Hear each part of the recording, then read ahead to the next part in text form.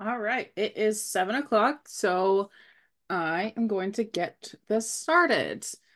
Hello and welcome everybody to our fifth uh, session for the Heifer Management webinar series through Heifer Academy at Michigan State University Extension. I'm your host, Cora Okkema, and today we're going to be covering the topic of dairy calves from weaning to four months of age. And I'm delighted to welcome Dr. Jud Heinrichs as our speaker for today's webinar. With a wealth of experience and expertise in heifer nutrition and management, Jud is known for his skill and knowledge both in the field and on the farm. Jud brings years of experience to the dairy industry, graduating from Cornell University with a bachelor's in science and animal science and from the Ohio State University with a master's and PhD in dairy science. Now a professor emeritus of dairy science at Penn State University, he has worked in the areas of dairy nutrition and management, particularly with forages. From 1991 to 1992, he oversaw the National Dairy Heifer Evaluation Project. Jud's passion for research and data is evident through his involvement in the da in dairy research. He has offered authored over 135 scientific journal articles and book chapters along with extension publications. He has worked on numerous population studies of growth rates in dairy heifers and helped revise the weight tape, which is a tool used worldwide in heifer rearing. A decorated dairy professional, Jud has been spending his recent days consulting, writing, and lecturing. We're honored to have Jud here with us to share his insights, and I'm certain that his expertise will enrich our discussion and provide invaluable takeaways for all participants on managing heifers from weaning to four months of age. So welcome, Dr. Heinrich, and take it away. Okay, can you hear me okay? Yes, I can. All right. Uh, well, good evening, everyone, and uh, I really appreciate being invited to to talk to you, and hopefully we'll have uh, have some good things here that I can point out to you. Um, uh, tonight's uh, topic is on the transition from the baby calf to the heifer. So to do that, what I'm going to do is I'm going to start a little bit on the baby calf uh, to get that transition because uh, really a lot of what happens with the transition uh, time period in, in the calf relies on how well that calf was set up prior to you moving them over to that transition pen. So I'll review a couple things here and I'll try to go pretty fast in this because uh, it should be a review. Uh, the calf starts as off as a monogastric. It, it relies on milk or milk replacer uh, but they need to turn into a ruminant by weaning time.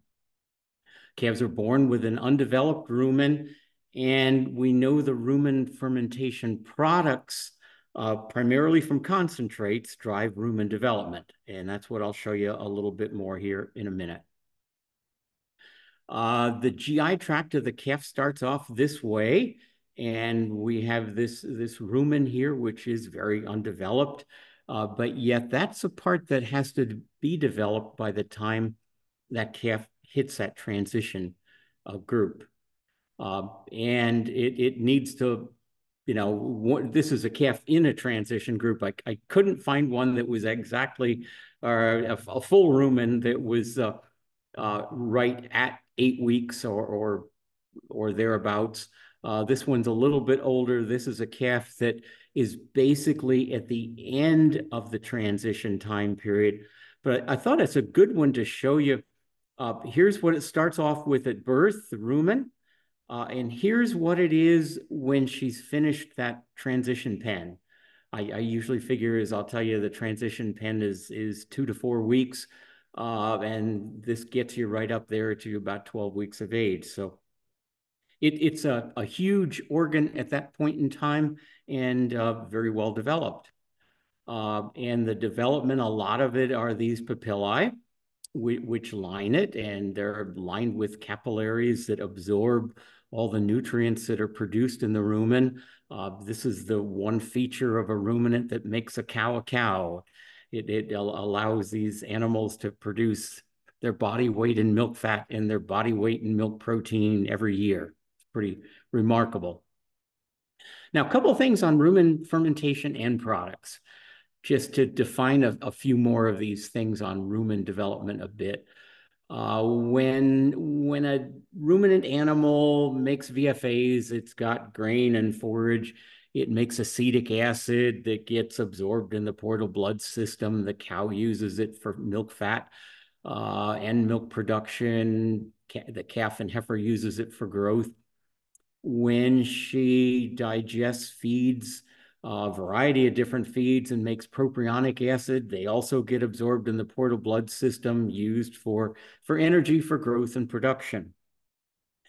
Now, the, the critical part of this is that when that young calf and even up in the transition time period that we're talking about makes acetic and propionic acid, these go in the blood system, they go to the liver, they get uh, transformed into energy, uh, these ketones, and every cell in the body of the, the growing calf and transition heifer and cow um, compete for those.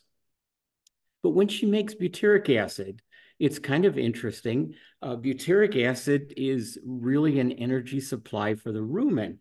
Uh, you'll never find it in the blood because if there is extra that the, the cells in the rumen can't use, it, it's converted to a, a compound called beta hydroxybutyrate, uh, which actually helps in milk fat production. But anyway, back in 1979, so it's not that terribly long ago, uh, someone actually showed uh, that they did the research to show where butyrate which could come all the way down here in its normal pathway to make beta hydroxybutyrate that I just mentioned. Uh, but this ketone also has a way that it gets absorbed into the cells uh, lining the rumen wall. And it's very unique for those cells in the rumen epithelial tissue. And it gets converted to energy there.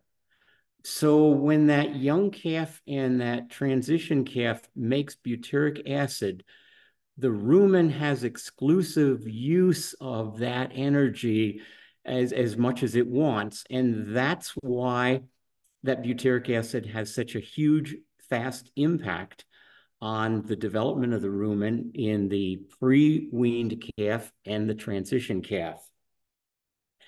And this is just to show you, I've, I've a different way of looking at some rumen papillae. Uh, but these were transition calves or calves right at the at the time of transition uh, that weren't eating a whole lot of grain. Um, and, and, and our, our in, in this particular study, they were getting less than two pounds of grain a day at the point of, of being in the transition pen, which means before weaning, they probably weren't even getting half a pound of grain uh, very little papillae development. Uh, and these were calves that were getting more than two pounds a day. Uh, and, and these are the same uh, tissues here that are down here, and they're just so much more elongated. And it's really easy to see where you have so much more area for absorption uh, of, of nutrients when you've got this developed papillae. But this is, this is what we have to have. Now, for the transition calf, once they have normal papillae and once they have this this rumen that that is is capable of absorbing it, uh, they're starting to grow a huge population of microbial protein, or uh, microbial bacteria and, and protozoa, which make protein, and their protein is about 50% plus or minus a few uh, accrued protein has a very high biological value, which means the amino acid composition of those bacteria and protozoa that she's producing in, in a rumen in that transition calf is, is what she needs for growth. Uh, so it is a key thing. We can't go ahead and supply it with, with very many nutrients that's going to anywhere come as, as, as close in biological value as these microbial protein. And of course, when when they're when they're growing and making microbial protein, they also produce VFAs, which are very efficient uh, glucose pr producers in, in that transition, transition calf. Now, I want to show you some slides. Once in a while, when I do extension meetings, I I, I get uh, get someone to uh, to grow some calves for me. Uh, and these are calves of six weeks of age. They they were in, in a series of meetings I did in Wisconsin a couple of years ago. Uh, and this calf was six weeks of age, fed all milk. Uh, and that was all it was getting was milk. And, and this is the rumen of it. I've got a slide that shows you a little closer. Uh, and, and you see it's pretty smooth. There's a little bit of papillae development there, not a whole lot. This is a calf that was on milk and grain. Uh, externally, they look the same. Internally, very different. And, and you can see this one already has some pretty well-developed papillae, and these calves were right around five, six weeks of age uh, when they, they sacrificed them for this meeting. Uh, that was that was back when when someone was willing to give me up some bull calves to do this. Uh, then you have the calf that you feed milk and some or grain. Well, first of all, they're fed milk, grain, and some forage. And these are always a problem uh, because some calves happen to like the grain a lot and they look like the previous one. Some calves don't like it as much and they like the forage better. Some calves don't eat any grain. And so they're kind of pretty varied. Uh, this one is somewhat in between. It's got some papillae development. So, so this calf was eating some grain, uh, but also had forage and, and you, know, you can see some pieces of forage in there. Okay, um, now what's the significance of, of this grain right at the beginning of transition? Uh, I was involved in a, in a great big field study that we did in Pennsylvania a, a bunch of years ago. And, and in, in 2011, uh, we published the first lactation milk production data from this. Uh, but it was kind of interesting. We, we followed baby calves from birth uh, really closely up through the transition pen area and then followed them kind of a little uh, less close uh, just because of the logistics of it uh, from four months of age on through calving. But then we kept track of first lactation milk production. And the interesting thing that we found is one of the strongest correlations on what happens with that baby calf that affects milk production and milk fat and milk protein was weaning dry matter intake, which is grain. Now, a few of these farms were feeding grain and forage, so it's not 100% grain, but it it's primarily grain but the the amount of grain that that calf gets at weaning time as it's moving from the individual pen to the transition pen has a huge impact.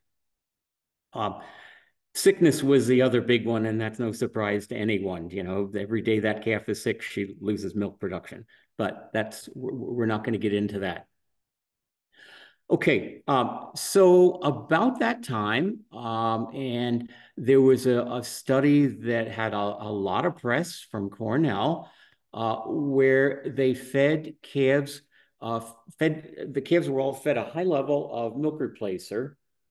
It was a retrospective study, so they they looked at uh, the the Cornell dairy herd and and one other herd, um, and over over a long time period like two years.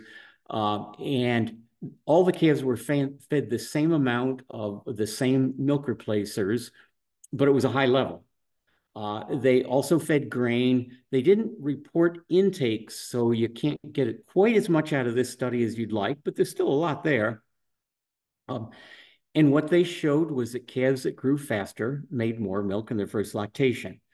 Uh, and this study got a lot of people excited and said, wow, we, we've got to get our calves growing faster at that end of the milk feeding and the transition period uh, because it's going to have an effect on first lactation. This, this study was done in 2012. Uh, then shortly after that, there was a big study in Minnesota where they had about uh, what you had 2,880 calves. It's up on the slide. uh, where they fed what I would consider more of a traditional amount of milk replacer. The Cornell one was high level. This one was was traditional. It was five to six quarts a day, uh, depending on what part of the study. Because again, this one went over several years. This one they had also calf starter ad lib, um, and and what they were able to show directly was that uh, which of these had a significant effect on milk, milk fat, and milk protein. Uh, and the, the, the, replacer amount, none. Uh, the calf starter had a significant effect. So just like the Cornell study where, um, I mean, since all the calves got fed the same milk replacer in both of these studies, it was a starter intake that made the difference. Uh, that those calves that ate more starter, something else was going on there. Um, and this is just a, a, scatter plot of all the data from the uh, Minnesota uh, study. And if you look at that regression line, yes, it does go up. That these calves that grew faster in general make more milk in their first lactation. It's it's not a direct, you know, it's not absolute whatever, because you've got genetics and you've got a lot of other things involved in there. But these calves with a well-developed rumen uh, because of grain intake, it, it has an impact that affects long term. Now, the last one, because I so I don't belabor this too much, uh, both of those sets of studies got a lot of universities excited about it. And so there was a, a bunch of studies where they looked at a low and a high level of milk replacer or milk uh, feeding along with, with free choice grain. Um, and turns out there were nine different studies that were published mainly from the US, but from around the world. Uh, and what they showed um, was that for every 0.2 pounds of gain during the pre-weaning period, gave 150 or 331 pounds of milk in the first lactation. And that's really similar to what the, the Cornell study and the and the and the Minnesota study showed in terms of, of pounds. Uh, so yeah, it had an impact. The, the interesting part of this one, though, was, is that by doing a meta-analysis, you could figure out a lot of other stuff. Uh, and one thing to point out with this before you get too excited, because I, I can get excited about this, was that 2.3% um, of the first lactation milk production uh, you could statistically come back and say had something to do with average daily gain around the time of weaning. 98% was other things. So the, the long and the short of it, it, it maybe isn't that big a deal, but it still is significant. Uh, so we have to hang our hats on it. Um, the that particular study, again, being a meta-analysis of all these studies, could pull out a lot of other stuff and they showed that the the increase in average daily gain from either milk or milk replacer, because there was a combination, accounted for about 20% of that uh, additional first lactation milk. The gains that came from grain feeding was 80%.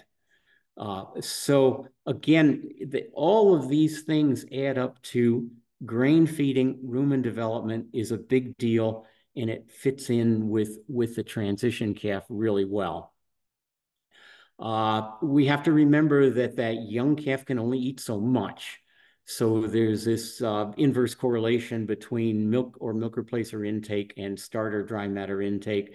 And that's real. And we, we've all dealt with that. And, uh, you know, th there's lots of different ways to do it. Um, one of the things that's happening during this time period, right around the transition uh, calf time period, is that the calf's liver is starting to, uh, early on, it was using lactose to make glucose. Uh, milk sugar got converted to glucose. Uh, the glucose gets used by all the cells in the body of that growing calf. Uh, but it, it changes over to using acetic and propionic acids, ketones, to making glucose. And that is a change in the liver that does take time.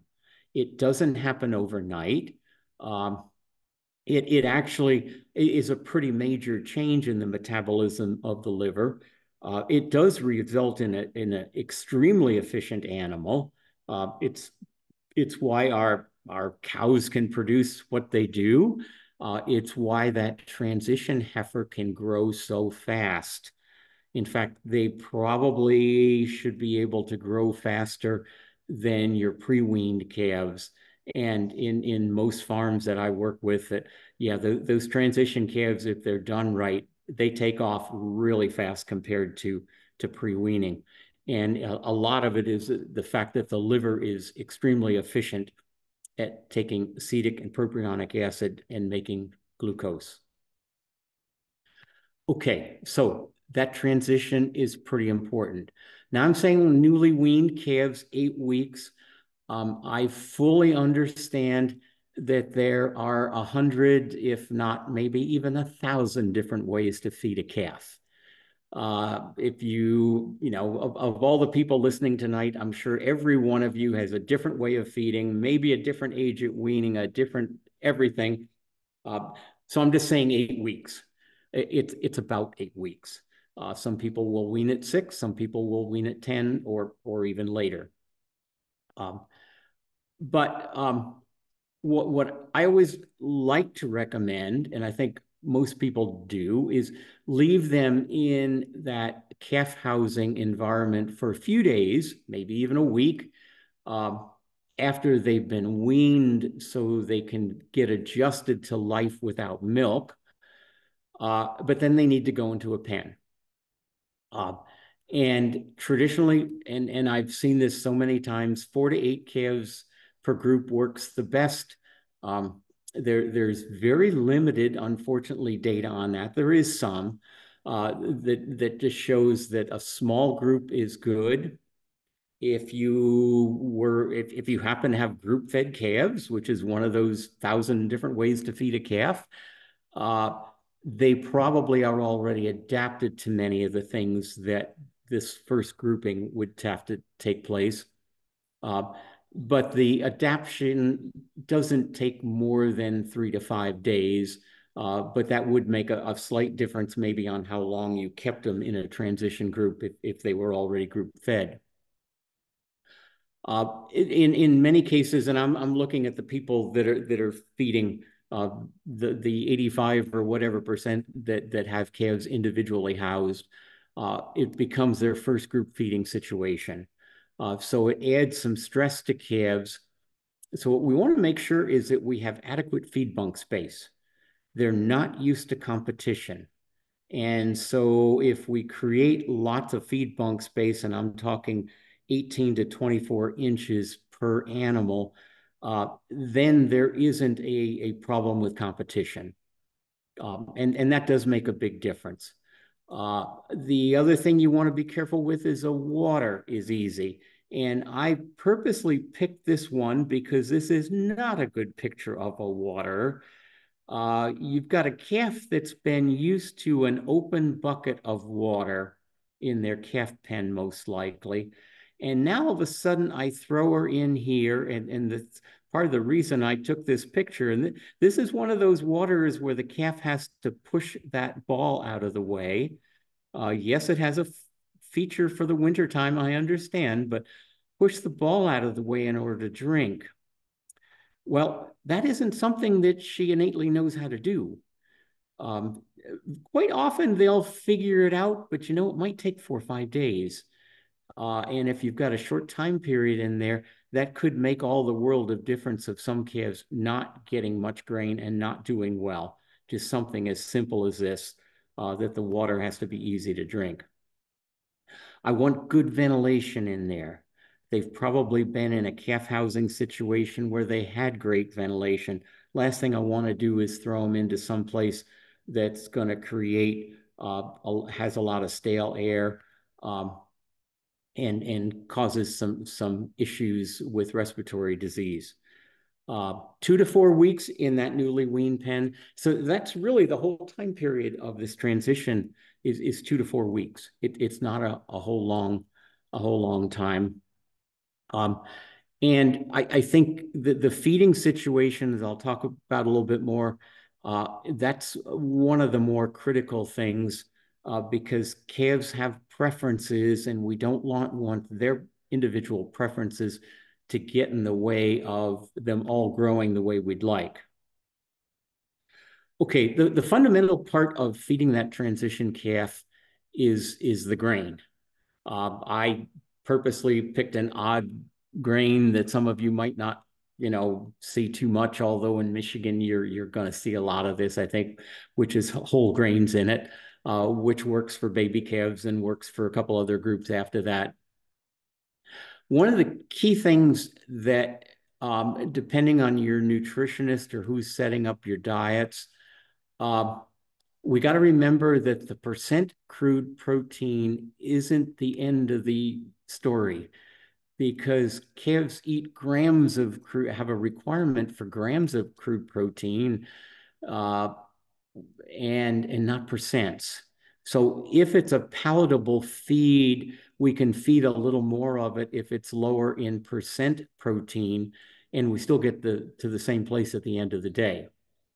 So if your nutritionist wants you to feed a, a 24% uh, and you're feeding a little less than someone else that's feeding a 20%, uh, the kids are probably getting the same grams of, of protein a day, and it isn't going to have an impact. So that is one thing where it's it's a little more difficult to make straightforward recommendations because uh, it's an amount and a percent that makes a difference if we look at where the current NRC is, and they did a lot of work on, on the calf and heifer part uh, in the NRC, uh, I, I, think the, the, the, big thing to show you here, if you've got uh, maybe maybe smaller breed animals or you're growing them a little slower, 20% uh, up until 250 pounds is okay.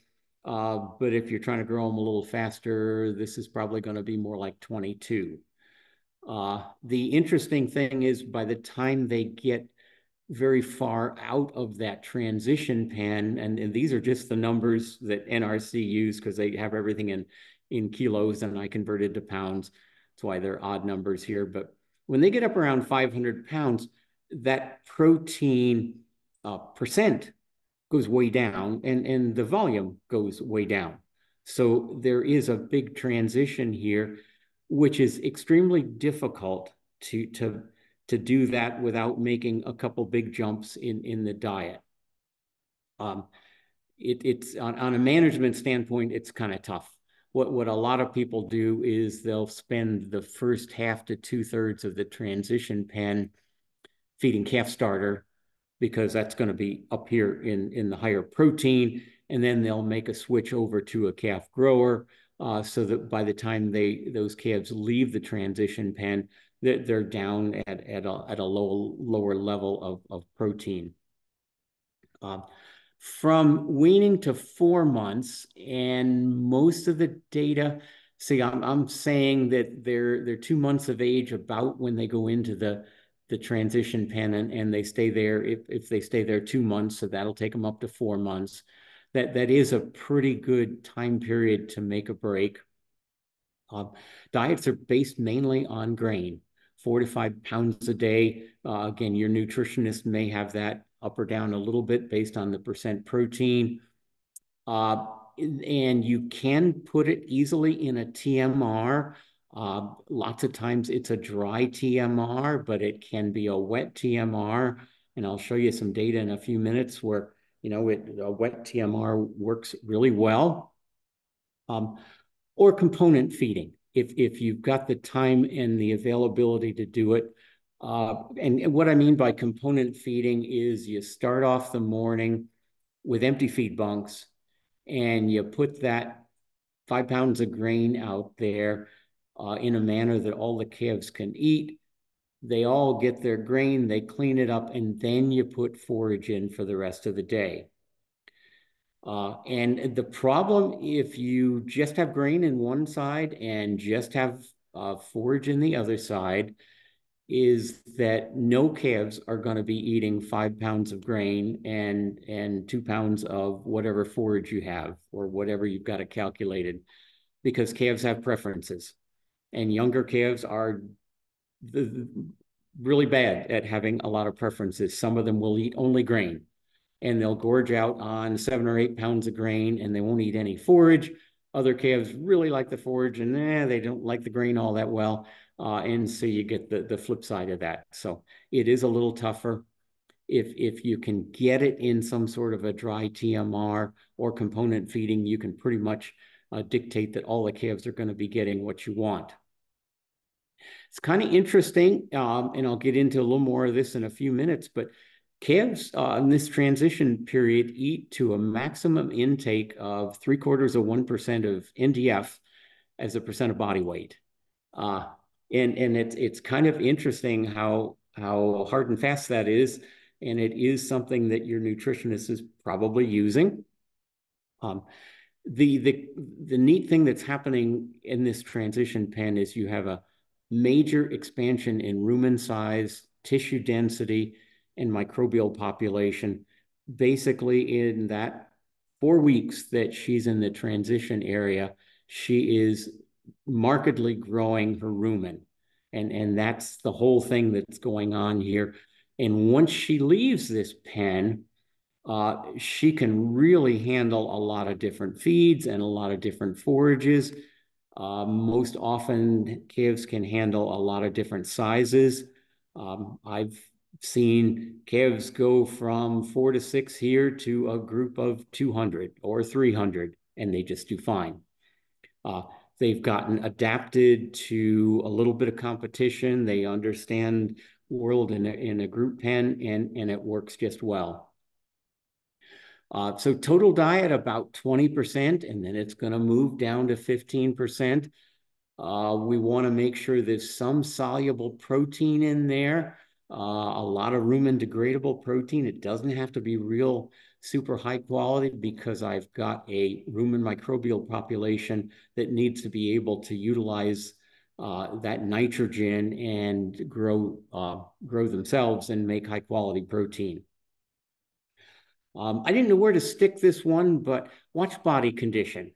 Uh, that's one thing I'm I'm constantly seeing fat calves and fat transition heifers and fat heifers up until about a year of age uh, that young calf, you know, we, we, we've modified our body condition score for all dairy animals in the last 15 years, 20 years.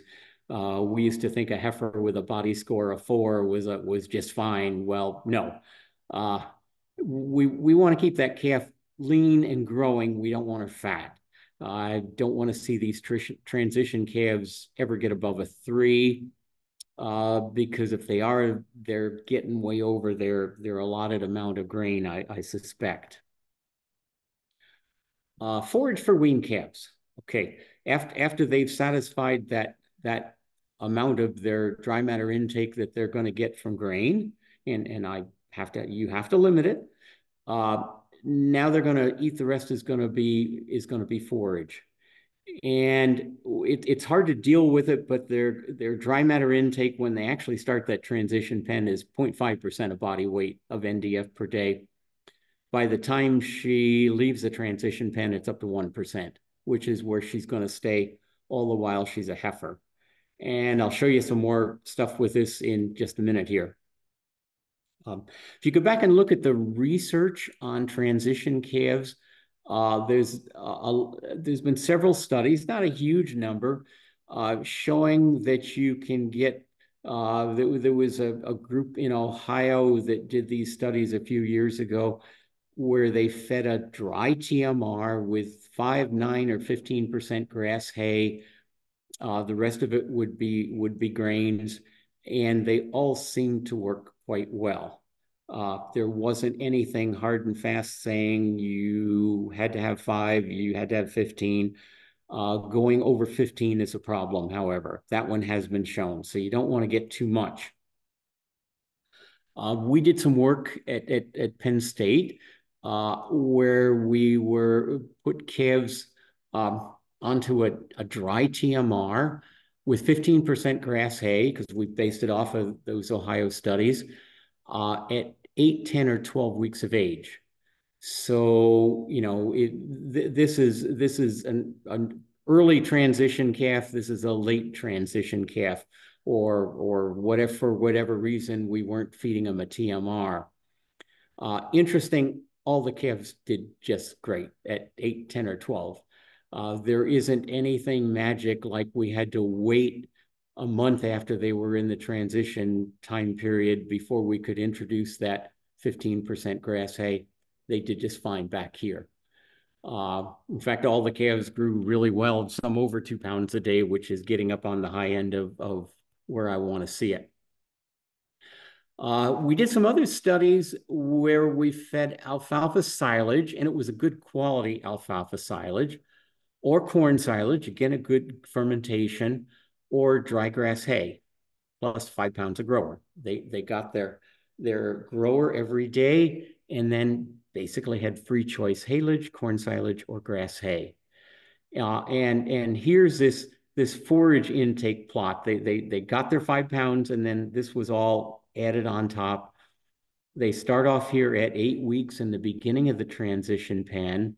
At, at pretty low levels, they were somewhere between five and 10%. They, they liked the haylage in this study because it was just had a good fermentation. Uh, but they start off here, and, and this is ad lib, and, and see what happens here over a two-month time period it, it's pretty remarkable. They, they all of a sudden got up to 40% or more uh, of forage intake. So it, it's pretty varied, and this is why it's tough to make a TMR for all of these calves if you keep them two months into that transition pen, because the first group, if if I fed 40% forage to that to these calves, they wouldn't grow very well. They'd get real paunchy. They would would simply not grow well. Uh, but if I made it a, a TMR that had 10% forage for these guys out here, I would have body condition score for calves. So uh, it, it is a tough one to do. Uh, that's why component feeding is, is a good way to do it, or a, a TMR plus um, extra forage on there as long as it comes out in the beginning of the day again so that they, they eat their grain later on. They all really worked well. Um, they like corn silage, they like haylage, they like grass hay. Uh, back when I went to college, I was told calves couldn't eat fermented feeds. I'm not sure why they would say the VFAs weren't good, but then they produce VFAs in the rumen. So uh, calves can do just great on for on fermented feed. Um, th this gets back to a little bit of that NDF intake as I talked about, um, and and just look at the alfalfa haylage and grass hay calves here mainly, uh, is that um, they start off and eat about 0.5% of their body weight in NDF per day. By the time they leave this transition pen, in this case at, at 16 weeks, they were up to almost 1%. Uh, within a few couple more weeks, they would be up at 1%. And interestingly, they stay at 1% most of the time that they're a heifer. Uh, so it, it's kind of odd. Uh, corn silage intake leveled off here, but energy wise, because it's corn silage, uh, the energy was coming in there. Um, one thing you, you sometimes will find if it's a good quality haylage, they eat it faster, they like it better. Uh, the smell, the texture, it's easier to chew and to swallow. Uh, grass hay will often lag a little bit behind, and that's mainly because it's a dry, long forage and it's a little tougher to eat, uh, but it's no big deal. They all work well. Um, now, what do you do with a few of those transition calves that didn't eat a lot of grain before weaning? Um, and that's why the whole the whole calf feeding program and, and keeping track of what's going on is pretty important. But sometimes uh, people can't do that, or they don't have the right software in their in their group housing pen, or they just don't follow it in their hutches. Uh, but what do you do when these calves don't eat a whole lot at weaning? Well, weaning's happening. Uh, they're larger animals and they want to eat a lot of grain and they do eat a lot of grain. Uh, and that grain gets in the rumen, it produces acid, but they don't have the papillae there to absorb that acid. And so we have calves with acidosis. Classically, if you have transition calves, that one day they're eating a lot of grain, the next day they back off, the third day they're eating a lot of grain, the next day they back off, probably means you've had some calves that just didn't have good rumen development. They have acidosis that day in between. That's why they don't want to eat grain. Um, acidosis in a calf is not like a cow. It's uh, in the, in the calf. It's defined as anorexic, lethargic, maybe diarrhea, abdominal discomfort.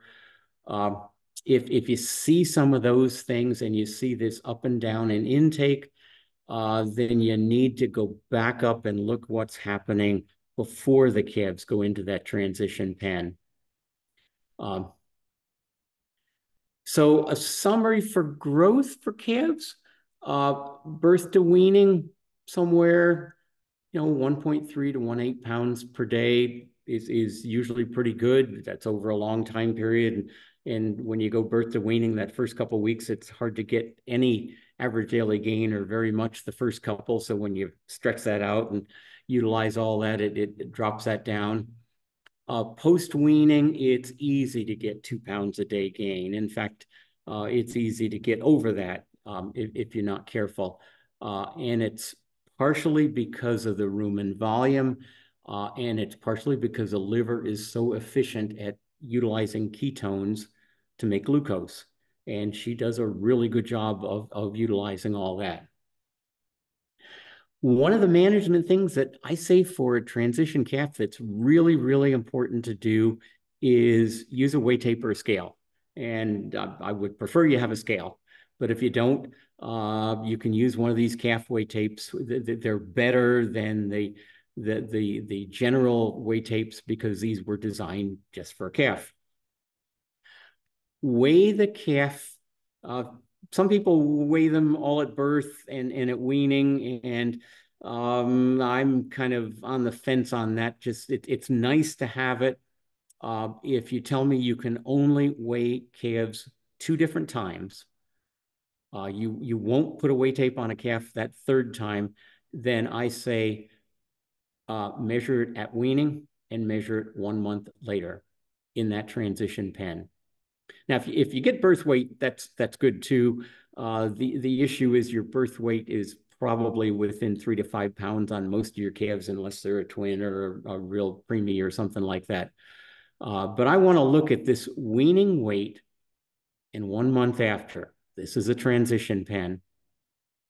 If that calf keeps on growing, and in fact, it may very well go faster, uh, oftentimes will grow faster than it had. It'll be kind of a solid plane of, of growth here, and then boom, it takes off.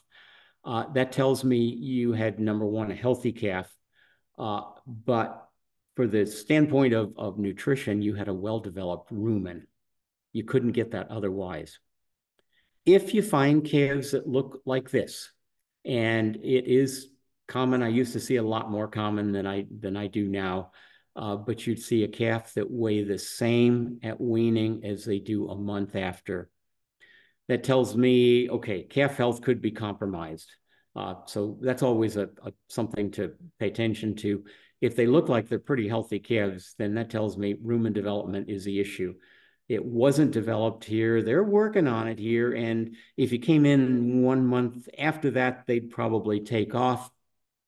But you lost a month of growth, which is hard to catch up.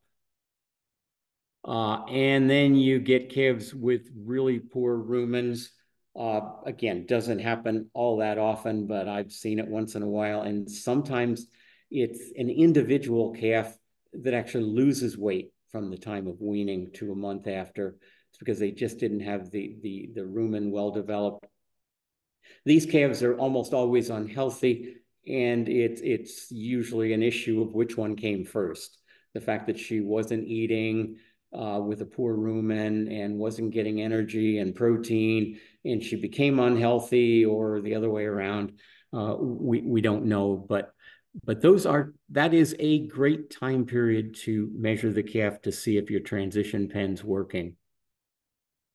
So to kind of summarize, um, diets based on four to five pounds of grain per day. Uh, forage-based TMRs are great. Uh, it could be haylage, dry hay, corn silage. Uh, the key thing is, is you gotta get that whatever amount of grain into those calves per day because that's a lot of the protein, that's a lot of the energy, that's all the vitamins and minerals. Uh, that is so critically important. Um, I don't want the average of the pen to be getting five pounds uh, and some calves getting two and some calves getting seven. I want them all getting between 4.8 and 5.2 if possible. Um, so com component feeding ends up being a great way of doing it. Uh, we always want to reduce stress on these animals. Uh, yes, you're going to have some vaccinations, you're going to have some other management things, uh, but go easy on it. Don't stress them out until you feel that they're ready to take it. Uh, uh, I, I, said before, good ventilation is important, but also keep the pens clean and dry. They've hopefully been used to a dry place to lay down all the while they were a young calf, uh, and they need to continue that uh, because especially when you when you look at the wintertime situations, this can have a huge uh, impact on whether that calf is going to have a, a, good transition period or not. Um, Health-wise, uh, always look for coccidia. Uh, it's it's an obvious one that happens here, especially when you're making a change in in feeds and in grains that might have a different coccidiostat in it. Uh, whether you're using a coccidiostat or, or an ionophore, they they both work great. Uh, this time of year, pay attention to flies and some of these other problems that can be there that can really basically stress those young calves um, and create situations where they don't want to eat as much.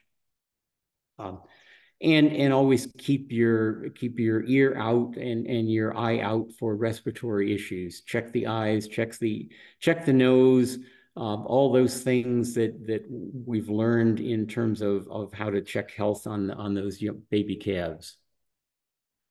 Um, so with that, I think I will will stop. Um, maybe went a little faster than I meant to, but uh, only three minutes faster on my watch. So we'll see if you want to go to any questions. There we go. Let me turn on my microphone. Okay. Um, thank you so so much. I I was taking notes as you were going through, and I was like, "Yep, there's definitely a few things that I I did not learn um in my time." So incredibly informative, and I really liked how you brought in all of the different studies that um I don't want to say contradict one another, but just add more and more details once we start figuring out, especially with a meta analysis of, yeah, it only accounts for 2%.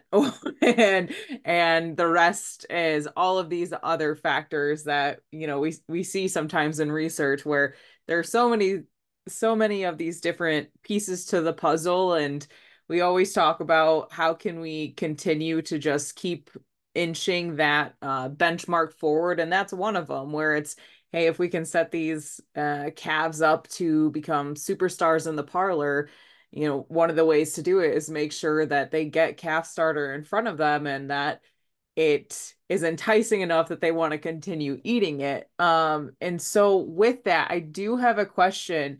So um, with rumen development, is it um I almost I I think of it as the the starter grain is kind of and and please correct me because this is this is the question that I have is is the starter grain the catalyst for the papillae to develop or is it a different thing? That it's it's the starter grain. It's it's starch. Okay. A little, yeah. bit of, a little bit of molasses, which does about the same thing, but no starch the, the breakdown of starch is propionic and butyric acid, and, and butyric acid is, is what drives the whole thing. Yeah. Okay. So, so starter is is the key thing. Uh, and and back uh, when I was early on in extension, I made this big kick about let's quit the forage, guys. Let's only feed starter. Uh, and and it, it does work if you've got the right starter, but if you have a pelleted starter, it doesn't. You need to get a little forage in there. Right but I mean, it, it really is is the starch. Um, but but to your to your your first point there, I'd find it interesting that all those calf studies showed the same thing. Mm-hmm. They all showed that starter intake grew faster calves, and faster calves had all positive things. There, there's nothing negative about getting extra starter intake um, and getting a little extra growth maybe maybe the only negative things that cost you a little more money, but hey, starter, right? Not the end of the earth. yeah, and I, from my my work and and talking with folks, it's um some folks get really excited where they're saying hey we're introducing we're introducing hay to our calves and and we're starting it off really early and I start digging into well, are they actually eating it? Are they interested in it? Are you seeing where how you talked about that, you know, calves can only eat so much and so we're going to have a difference in in milk consumption or grain consumption once hay gets in there and we all know hay is fed and you make hay bellies and you don't nec- you don't want that in a calf. You want them to have those nutrients to grow because they are growing they can grow very quickly and unfortunately we've had a history of underfeeding these calves. And so now it's well how do we adequately adequately feed them get them the nutrients through that through both milk and starter grain? And i know with um like dairy calf and heifer association and also some uh, like the farm program they're all saying get starter in front of those calves as soon as possible and you know of course it be in small quantities at first because calves aren't going to just start going hungry for it right away. But it's really interesting how i've seen it when it's very well done um that calves are just flying through the starter grain and and um and it really helps too when having uh, that same starter grain when they get into that transition pen and uh, like how you talked about a little bit with the component feeding almost i've seen um, a number of people use it as a top dress where they're saying hey this is a transition. We want them to get on the tmr but we also know it's a big shift. So use that grain as a top dress and that'll then get them interested in the tmr that they that uh, is under it. So um, we do have a question that came in. Uh, it is what age do you recommend maxing calves out on milk in order to maximize starter intake? Ah, in, in a perfect world, I'd say max out a calf about three to four weeks. At you know, if if if you wanted my perfect, you know, um, my one of a hundred different ways of feeding calves is at basically ad libitum milk, all they can get to 3 mm-hmm. to four weeks, and then start dropping them down. Because what the, the the tough thing is, it takes three to four weeks to really grow the rumen before mm-hmm. you can transition that calf. So they they have to be eating grain, and the only way to do it uh, is to cut down on the milk but again, the bigger the calf is, because it ate more milk early on, the the more she's going to be able to eat. Right. So it's this tightrope you can walk. Uh, but you know, people that that get lots of intake and big calves usually have some sort of a system where they're they're walking those calves down in milk intake with enough time that they're going to get rumen development before they transition them. Right. Yeah, and I've um even though th- this is a shorter period what I'm thinking of, but with folks who are weaning calves, um they how I've seen it where those calves do better um in the sense of not not I'm not seeing stressor signs in these calves as much as I do in calves um, that uh, have like really abrupt weanings or very short weaning periods. So the folks that uh, do like a a 10 day or even a two week, I've seen I've seen both systems, um, and they do almost a step down where we're adjusting that calf, we're making sure that um, if we're bringing down milk, she's getting adequate starter where it kind of balances that. Um, but also, all of these calves are still getting a ton of water with it too to just maintain that fluid consumption. So um, I've seen those really good systems put in place, and yeah, it's it's definitely if you're making a shift for a management change, uh, it's definitely something where it's going to take a little bit uh, because all of a sudden, if if you go directly from a hard weaning of all right it's this group of weaning this week and everybody just abruptly stops and and then the calves are not happy. Um but even very short periods of hey for 4 days these calves are only going to get one feeding of milk and and then you swap it with water uh, that's that's too much of a shock to the system where they don't have time to adjust, especially if then you go move those animals and put them in a group and um, right. Yeah. Uh, you talk a lot about with um, or you mentioned you know reducing stress and also uh, when you're grouping calves, start off on the smaller sizes and try to not move those calves right away when you're weaning. All of that. I mean, all of that really adds up to major stressors for that calf because that's all that calf knows and that that's something where I've worked with managers and calf care teams where hey I understand that this is a whether it you know moving calves might not be an everyday thing for you or it might be an every week thing for you but for each batch of calves this is the first time they're going through this and so you have to be cognizant of that when you're moving these calves, when also you're setting up care protocols. And you have to think that these are still babies. They are still very much babies, no matter how heavy they weigh. Um, they're still very early in their development. And so making sure that we prime them as much as possible, but also not pushing them too hard or exposing them to too many stressors uh, early on where they then may get sick or not gain weight like how you were showing um, um, just thinking of all of these little things where going back to that hey this this might only have a 2% effect. Well come to find out that 2% can't add up quickly if it's a 2% on top of another 2% on top of another 2% so.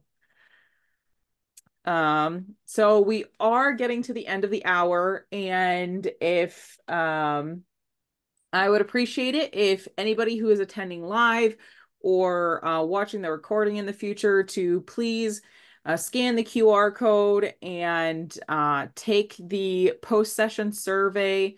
Let me see if I can pull um, the link for everybody.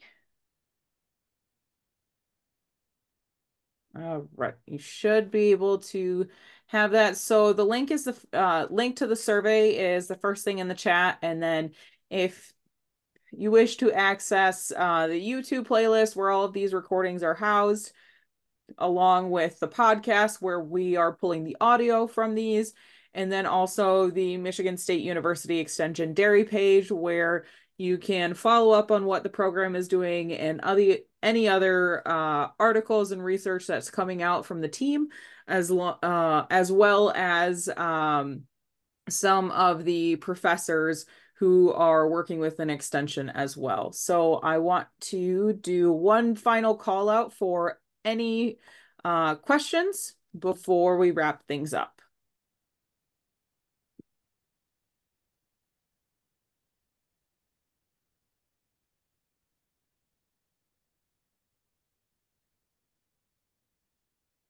You know, I guess as as a final thought, yeah, uh, one, one thing I I did omit saying and, and didn't have it in my slides, but I'm assuming when you wean these calves and move them in the transition group, that they all came from the this they all came from the same situation and are going in the same situation.